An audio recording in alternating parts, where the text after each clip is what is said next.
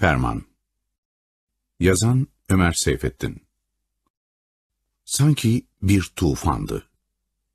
Gök delinmiş gibi aralıksız yağmur yağıyor ve bütün ordu Semlin'e doğru sel, çamur, sis ve bora içinde ilerliyordu. Belgrad Şabaç yolu çökmüştü.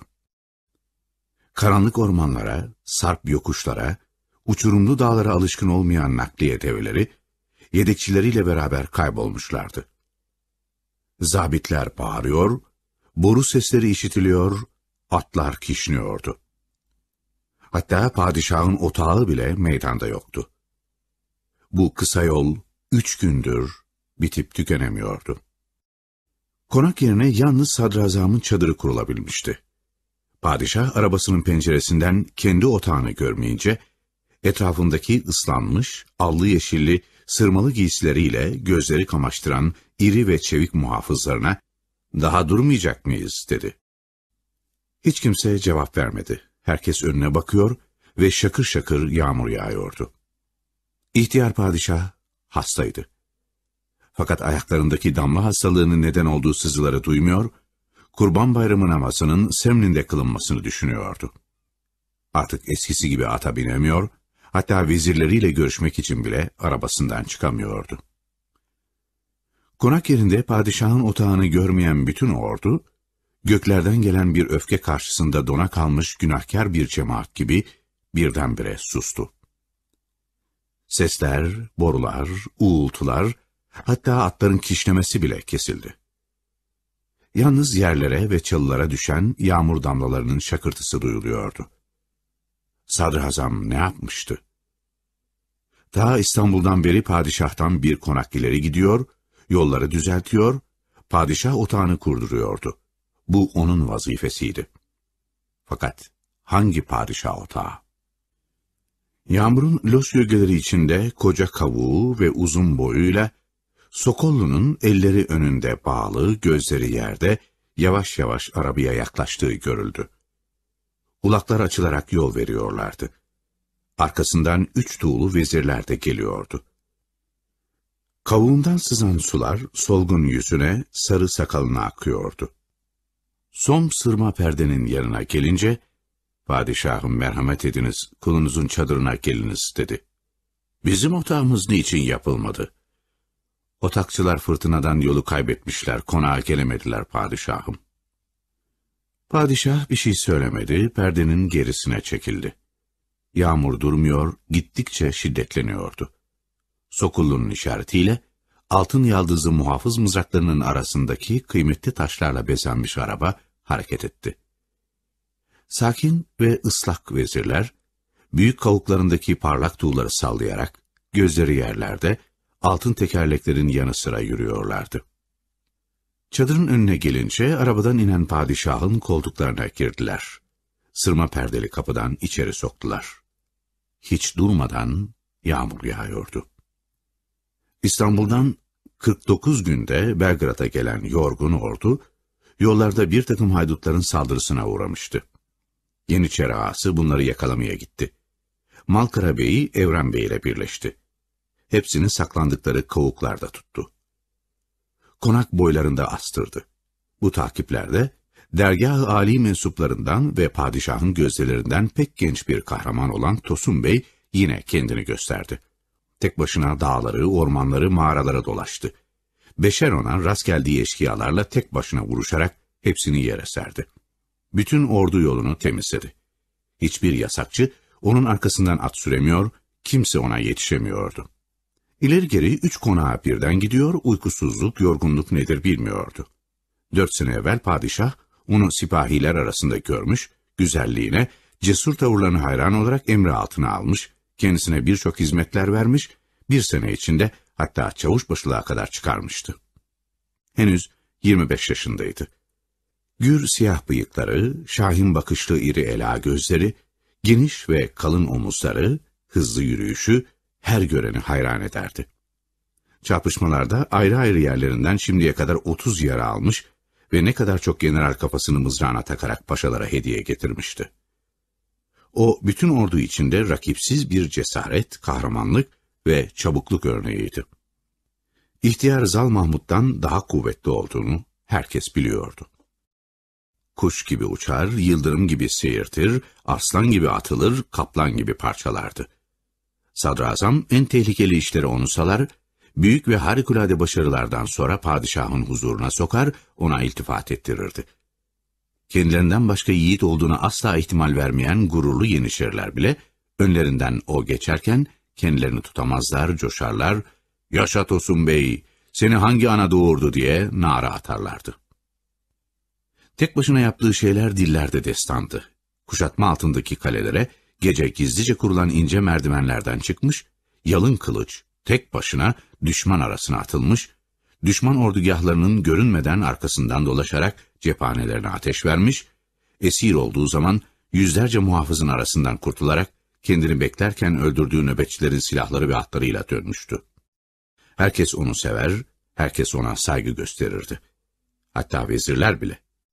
Çünkü Tosun Bey bu cesaretiyle yakında beylerbeyi olacak, vezirlik için çok beklemeyecek, ihtimal, evet ihtimal daha sakalına kır düşmeden padişahın mührünü ele geçirecekti. Hem cesur hem erdemliydi. Seferlerde sedefli curayla kahramanlık destanları söyler, barış zamanında gayet çelebice hikmetlerle dolu gazeller, kasideler yazardı. Kılıç kabzasının nasırlattığı elinde kalem yabancı durmuyordu. Halkın ağzında kendine dair birçok efsane dolaşırdı. Babasının bir emektarı onu büyütmüştü. Haksız yere kafası kesilmiş bir beyin oğluydu. Yağmur durmadan yağıyordu.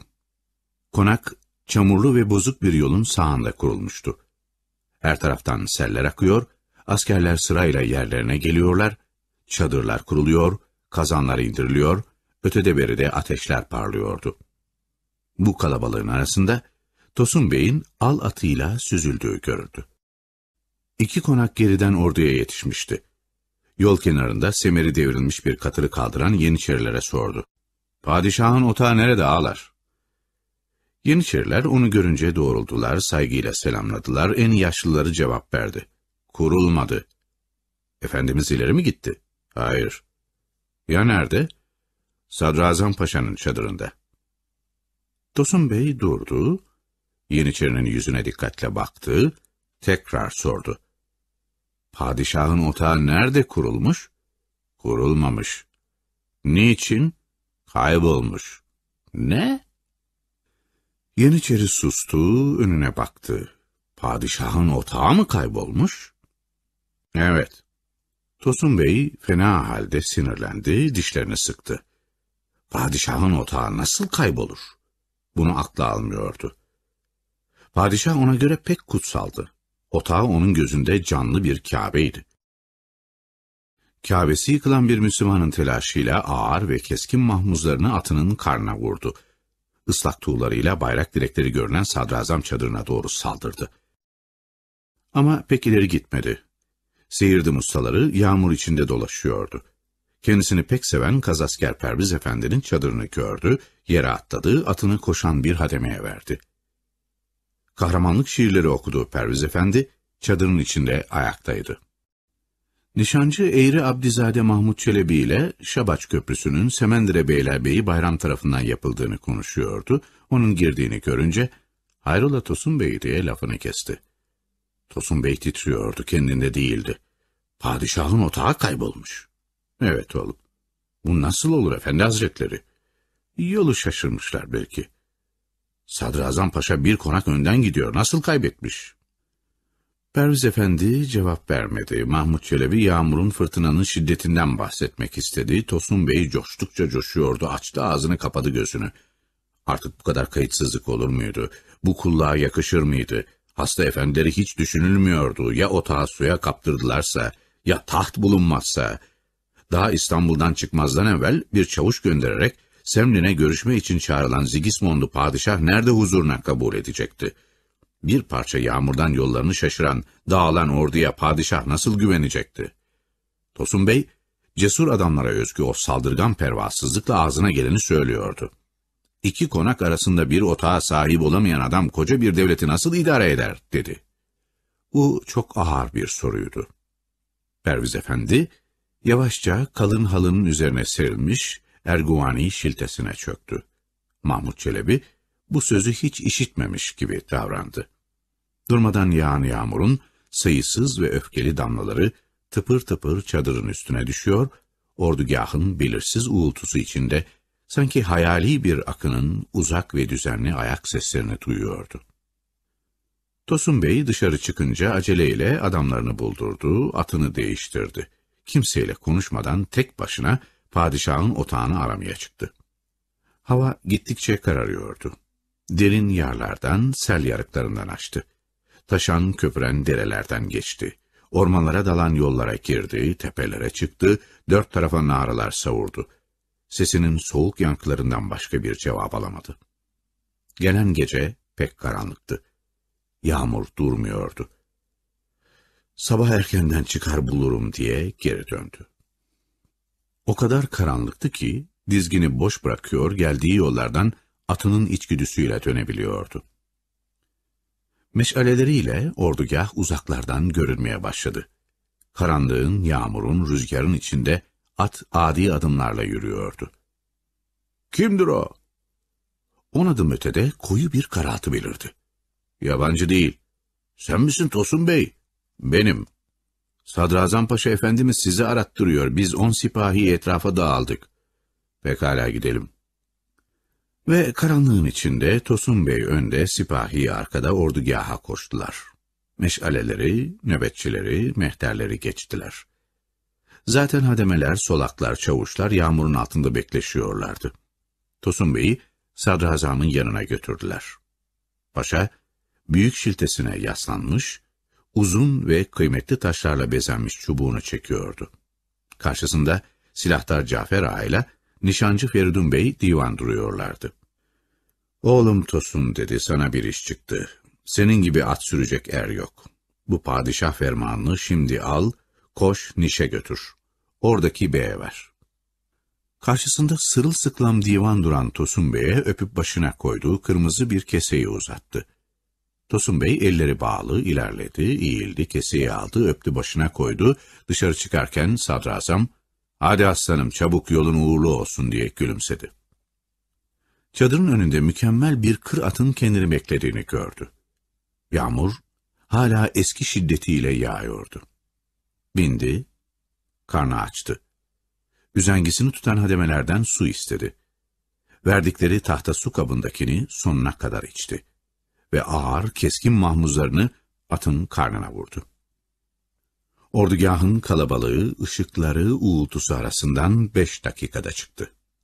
Karanlığın, yağmurun, rüzgarın içinde dört nala uzaklaştı, kayboldu. Ormanlardan, derelerden, köprülerden, tepelerden, uçurumlardan şimşek gibi geçti. Belgrad'da durmadı, hemen atını değiştirdi, azığını aldı, yine yola atıldı. Hiç uyumuyor, yalnız düz yerlerde atı tırıs giderken rüyasız ve uyanık bir uykuya dalıyordu. Gecelerden gündüze, yağmurlardan güneşe girdi. Haziran sıcaklarıyla giysileri kurudu. Kendi ve atı terledi. Akşamları serin rüzgarlara karışan bülbül sesleri işitti. Sabahları cıvıldayan tarla kuşlarının saklandığı ekin denizleri içinde yürüdü. Sonunda bir gece pek uzaktan nişin aydınlıklarını gördü. Büyük bir çiftliğin önünden geçiyordu. İri ve azgın köpekler arkasından koşuyor ve havlıyorlardı. Gün doğuncaya kadar şurada kalayım, erken şehre girerim dedi ve çiftliğe saptı. Herkes gibi çiftliğin adamları da onu tanıyorlardı. Atını aldılar, saygı göstererek yukarıya kuleye çıkarttılar. Ben biraz dinleneceğim, gün doğmadan beni uyandırın emrini verdi. Ne zaman olursa olsun her gelen yolcuya yemek çıkarmak adetti. Tosun Bey, hiçbir şey istemem, bana biraz ayran getirin dedi ve getirip bıraktıkları testiyi dikti. Susuzluğu geçince sedire uzandı. Gözlerini kapadı. Fakat uyuyamadı. At üzerinde gelen uykusu böyle hareketsiz kalınca kaçıyordu. İki tarafına döndü, tolgasını çıkardı, kılıç kemerini gevşetti, tam dalacağı sırada birdenbire sıçradı. Göğsünün üzerine koyduğu ferman ateş gibi yanıyordu. Elini götürdü, hayır, tuhaf bir rüya. Ferman yerinde duruyordu. Biraz daldı. Rüyasında götürdüğü fermanın eriyerek kan olduğunu, sonra tufan dalgasının kırmızı alevler halinde bütün vücudunu sardığını görüyordu. Sıçradı, uyandı. Hiçbir tehlike karşısında düzenini bozmayan kalbi şimdi hızlı hızlı çarpıyordu. Doğruldu, hayırdır inşallah dedi, oturdu, bir şeyler okudu, döndü, üç defa sol tarafına tükürdü, elini titreyerek fermana götürdü, yerindeydi. Yavaşça tuttu ve istem dışı bir hareketle çekti. Ocağın üzerindeki kandilin titrek ve sönük aydınlığı içinde baktı, üstüne sardığı çevreyi çıkardı. Bu kırmızı bir keseydi. Yanından bal mumuyla mühürlenmişti. Dikkat etti. Terden, yağmurdan ve hareketten bu mum mühür yerinden oynamıştı. Acaba içinde ne vardı? Dehşetle rüyasına giren bu ferman neydi? Mutlaka inzibata dair bir emir, çünkü savaş yukarıdaydı. Haydutlar, cephane yahut yollar ve tuzaklar için bir şey olmak ihtimali vardı ama hayır, bu önemli, pek önemli bir emirdi. Çünkü özellikle kendisiyle gönderiliyordu. Acaba neydi? Fermanı tekrar çevreye sardı, koynuna koyacaktı. Fakat göğsünün görünmez bir cendereyle sıkıldığını duydu. Boğazı tıkandı. Sanki ferman sahiden ateş almış, vücudunu yakıyordu. Sönmez bir merak ateşi ruhunda tutuştu. Zaten işte mühür bozulmuştu. Açsa belli bile olmayacaktı. Başını salladı, kendi kendine sakın, sakın dedi. İçinde tutuşan merak ateşi öldürücü bir sıtma gibi her yerini sarsıyordu. Hararetten yanan elleri sanki kendi iradesiyle inat eden başka bir vücudun organıymış gibi torbayı açtı, üçe katlanmış kağıdı çıkardı. Tosun Bey, iradesine isyan eden ellerinin cinayetinden titredi. Bir fermanı açılabilir miydi? Fakat kımıldayamıyor, ellerine hükmedemiyordu. Zincire vurulmuş hareketsiz yatarken başkasının yaptığı cinayeti karışmadan seyreder gibi ellerinin ihanetine baka kaldı.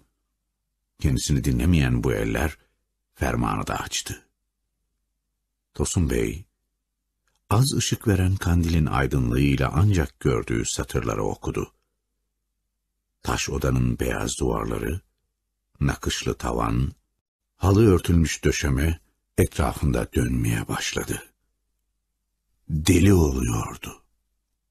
Cinayetten sonra kaçan katiller gibi elleri iki tarafına düştü.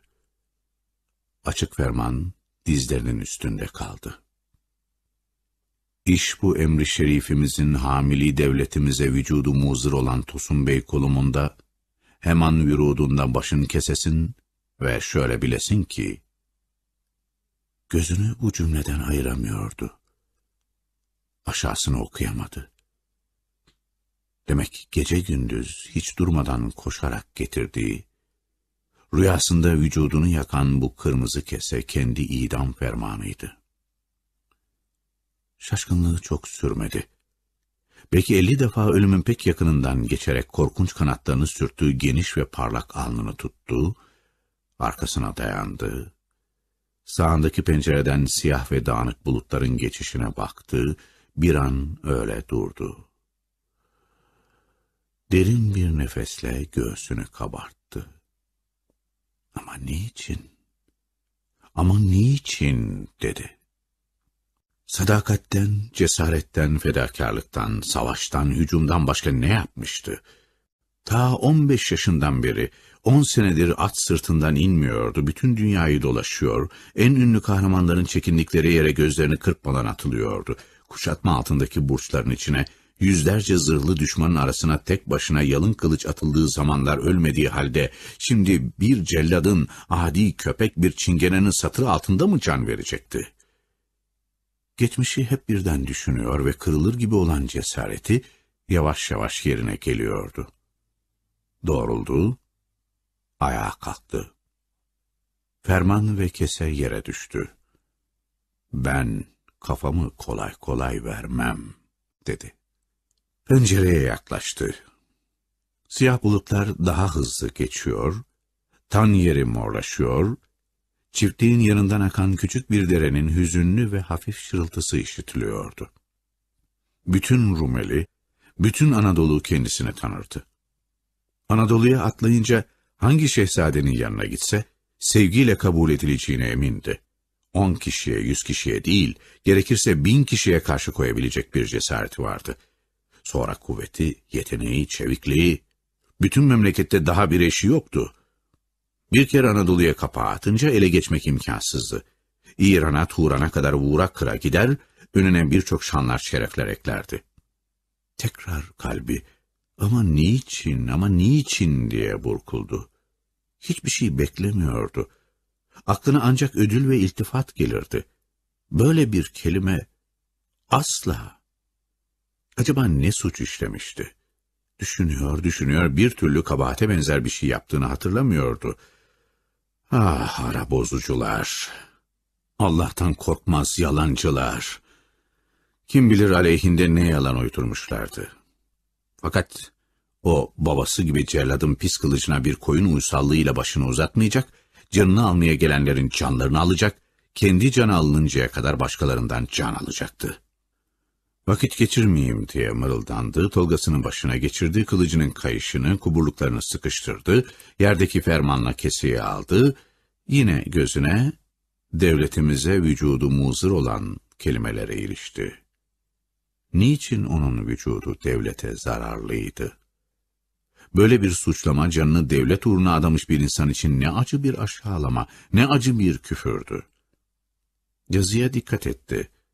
Acaba padişahın el yazısı mıydı? Silahtar Cafer anında olma ihtimali vardı. Padişahla onun yazısı farksız derecede birbirine benzerdi.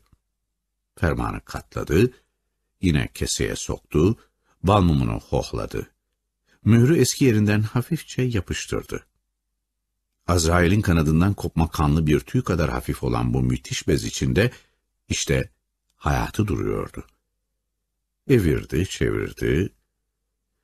Böyle bu müthiş şeye bakarken aklından hep ulaşamadığı istekleri, belirsiz amaçları geçti. Bu dakikaya kadar ne mutluydu. Şan, şeref, şöhret, servet, debdebe içinde yaşıyordu. Padişahın en sevgili gözdesiydi. Gördüğü lütufları düşündü. Sipahilik zamanlarını hatırladı. Daha 15 yaşındayken kuvveti, yiğitliği görenleri şaşırtıyordu.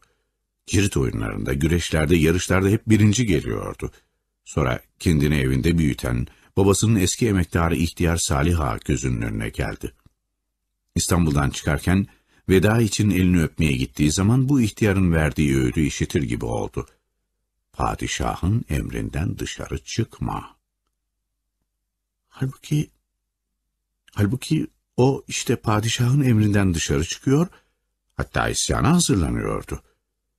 Bu büyük ve gerçek günahı işlemiş gibi kalbinde heyecan ve pişmanlıkla karışık zehirli bir sızı duydu. Canını padişah ve devlet uğrunda vermeye yemin etmemiş miydi? O halde bu canı kimden, nereye ve niçin kaçıracaktı? Artık birdenbire kuvvetlenmiş iradesinin hükmüne tabi demir elleriyle tuttuğu bu kırmızı keseyi kaldırdı, dudaklarına dokundurdu, sonra başına götürdü.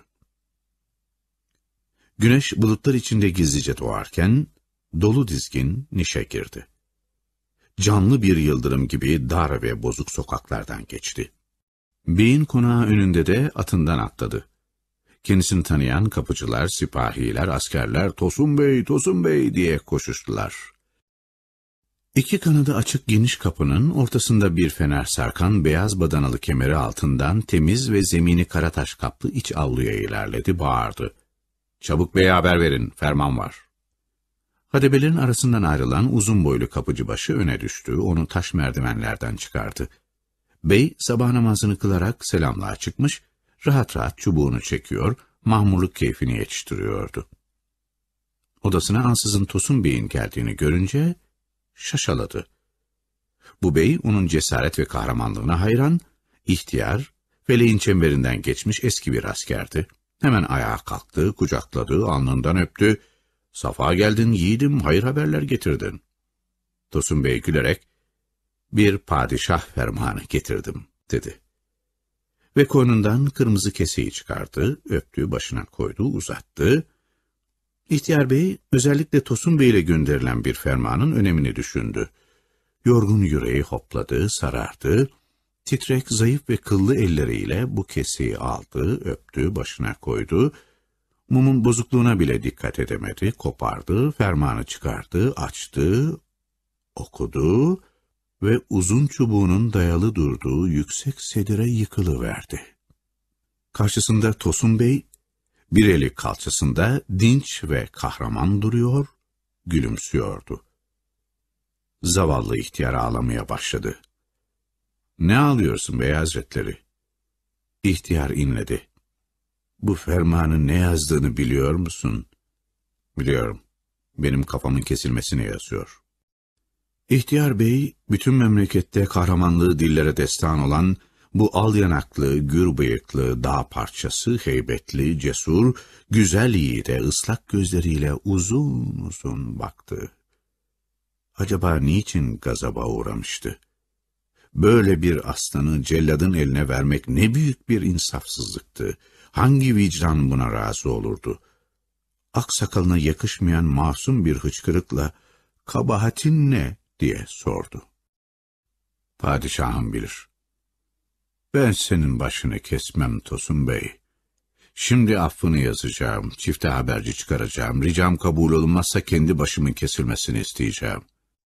Hayır bey, hayır. Padişahın emrinden dışarı çıkma. Beni kes, kestikten sonra affımı rica et. Padişahım kendi emri yerine geldikten sonra ben kulunu affetsin. İhtiyar bey daha çok ağlıyor, hıçkırıyordu. Ben senin gibi bir yiğide kıyamam, ben seni kesemem, elim dilim buna varmaz. Vallahi seni kesemem. Yeni uyanmış erkek bir aslan sakinliğiyle gülümseyen Tosun Bey'in parlak çehresi birdenbire karardı. Gür kaşları çatıldı. Şahin bakışlı iri ela gözleri açıldı, nefret ve hiddetle kılıcını çekti. Padişahımın emrini yapmayan asilerin başını ben keserim diye kükreyip ve zayıf kalpli, zayıf ve itaatsiz ihtiyarın üstüne yürüdü. Alçuha'dan büyük kapı perdesinin arkasında gizli nöbet bekleyen silahlı ademeler koşuştular ve onu tuttular.